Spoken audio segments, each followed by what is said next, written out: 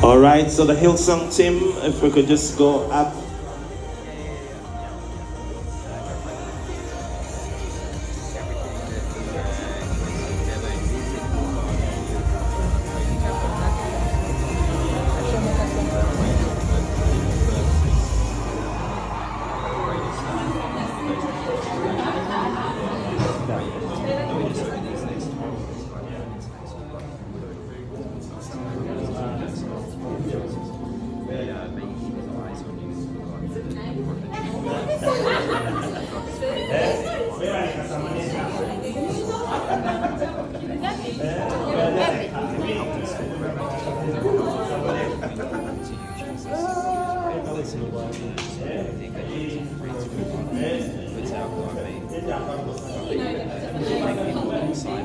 Just uh, help people speak life into